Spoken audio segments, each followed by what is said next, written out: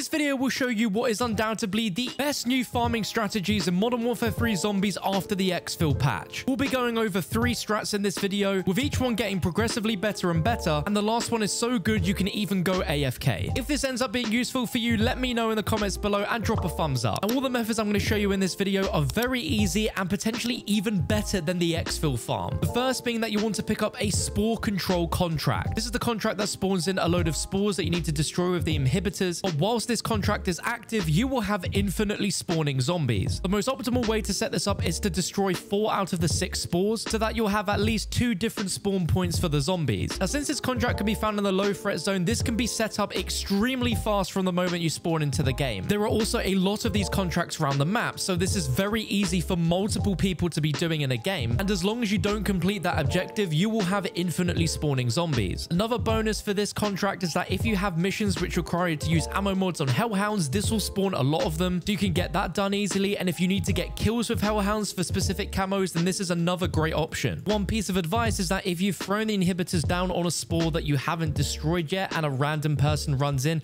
they can destroy the spore and complete the contract for you. But just as a word of advice, don't throw the inhibitors down on the last two spores. That way, no random players can complete the contract for you. And like I said, the benefit to this one is that there are a ton of these contracts around the map, and this one's a fairly fast method, but we have one that's even faster. This second method is what I believe to be the ultimate contract method, and that is to pick up the Outlast contract. This contract looks like a satellite icon, and what it does is it spawns an area on the map which you will need to activate a device called the PND. The area inside with the machine will turn purple, and the longer you stay in that area, the more the percentage will go up. The benefit of this contract over any others for farming zombies is that zombies spawn far more aggressively and spawn in very specific parts of that area. The contract requires you to remain in the environment whilst that percentage goes up, but you don't have to do that whatsoever. When you step out of the area, the percentage will go down, but zombies will keep spawning and the mission will not fail if you get down to 0%. I'm trying this method myself. Once the PND gets to about 50%, make your way out of the purple area and the zombies seem to spawn as aggressively and fast as they possibly can. Now, this contract only puts you in a few select areas around the map, so you will very quickly learn the fastest spawn locations for the zombies. And in certain spots, if you can work out the best method where you are just outside of the purple area, you are able to watch a zombie spawn point in front of you, and you'll be able to just farm the zombies away like there's no tomorrow. It is such an easy and fast method. Doing this will also spawn you in a lot of hellhounds as well. So again, if you need to get ammo mod kills for admission, or if you need to get hellhound kills for camos, this is absolutely perfect. Both of these contracts require you to use zero glitches. You are simply just firing at zombies that are spawning at an incredibly fast rate. I would go so far to say that this Outlast contract spawns zombies in quicker than the exfil pre-nerf. This method, if you spawn a double weapon XP token in, you'll be able to get around 10 to 12 levels before you are hard capped. The way the game works is after a certain amount of kills, which is about 750 kills in game, the amount of weapon XP you earn per zombie kill will drastically decline. And at that point, you're better off just exfilling and then infilling into a new game and repeating again. The only downside with this Outlast contract is there's normally only one or two of these that spawn in a game. If you are attempting this method, be sure to try and get that contract the moment you spawn into the game before someone else gets it. But I've saved the best method till last, and it is so incredibly powerful that you can be AFK and be ranking up weapons extremely quick. Now, the only requirement for this is that you need to have completed Act 1 of the missions within Modern Warfare 3 Zombies, as you're going to need to have a mission available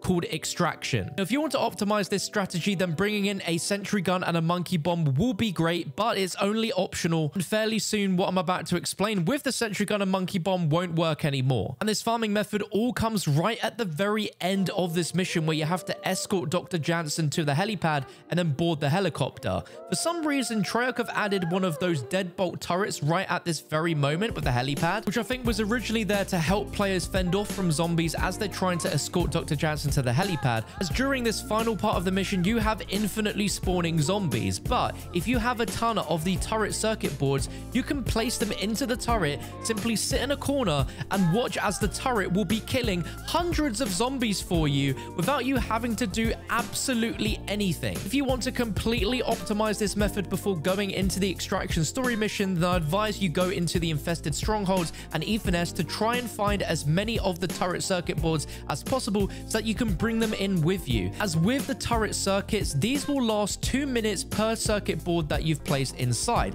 So if you have four of them, you can place them inside the turret and it will be killing zombies infinitely for eight minutes straight. Craziest part as well is that around this level, there are also a ton of turret circuit boards, which are always a guaranteed spawn every time you load into this mission. There is always one turret circuit board inside the room that Dr. Jansen was in, and there's one literally opposite that room as well. There are some literally directly underneath the helipad where the turret is. Then the various other warehouses around, you will also going to find these turret circuit boards lying around. So even if you don't find any in an infested stronghold or Ethan prior to you going in, you'll be able to find at least four of these turret circuit boards within this mission itself to be able to farm at least eight minutes of free zombie kills. And obviously, if you bring in more, then you'll obviously be able to have the turret last even longer. And with this strategy, you can be AFK almost 100% of the time, but there is a guaranteed method which will be fixed at some point soon that will allow you to be truly AFK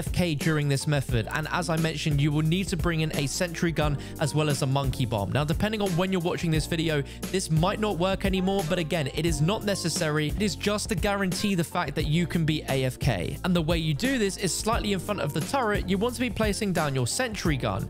You'll then want to go back onto the sentry platform and try and jump onto the top of the sentry gun itself. And where you see the little circle to pick it up, you want to cook a monkey bomb and throw it directly on top of the sentry gun. What will happen here is because the monkey bomb can't actually move, the monkey bomb will never go off. And eventually you'll see it just float up in the air. And this will attract the zombies to go in front of the turret forever. Even if the sentry gun is destroyed, the monkey bomb will still be there and it will still attract zombies directly in front of this turret. So you can just sit AFK in front of it, let this turret kill all the zombies for as long as you possibly want. And as you can see, the amount of XP I'm getting in one single moment is absolutely insane. Now, this trick with the sentry gun and the monkey bomb can also be done for the Outlast and Spore Control contracts as well. With the Outlast one, it can be incredibly lucrative if you can find one of those really effective spawn points for the Outlast contract where they will just immediately run to the sentry gun. The sentry gun will take them out. If it's a spawn that you can see, they will just be attracted to where the monkey bomb is and you can just farm kills until you get that 750. Regardless if Treyarch ever fix this issue with the sentry gun and the monkey bombs, the fact that you can have this turret work for over 8 minutes killing an infinite amount of zombies without you having to do anything is the ultimate farming method. I don't see Treyarch ever nerfing the amount of zombies that spawn here and because this is a separate instance of the zombies mode, you're in a game by yourself so there are no other players that can interfere with this method, no other players that can take zombies away from you and you'll be gaining weapon XP and ranking up guns so quickly. Now with normal weapon XP, you can probably rank your gun up about six times with this method before that weapon XP drop off really starts to kick in. But if you pop a double weapon XP token, you can get between 10 and 12 weapon levels. So for simply farming weapon XP, this is absolutely incredible. If you want to be farming the zombies kills for the camo challenges, then the other two methods are probably going to be better as I don't know if this turret actually counts as getting kills with your actual weapon. If it does, then absolutely more the merrier. Please let me know down below in the comments section. If these methods help you out, let me know by dropping a thumbs up and subscribing for more Modern Warfare 3 Zombies, guys. You can check another one on your screen now.